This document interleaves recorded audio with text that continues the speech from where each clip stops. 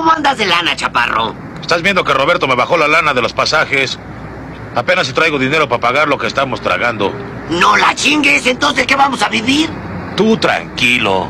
Trabajo derecho no vamos a poder conseguir. Aunque aquí se usan otros medios, eh, son un poco peligrosos, pero hay que echarle huevos. ¿Huevos? Eso es lo que a mí me sobra. Fíjate, durante todo el viaje he venido madurando un proyecto que... ¿De qué se trata? Tú come, luego te digo. Oye, Tuntún.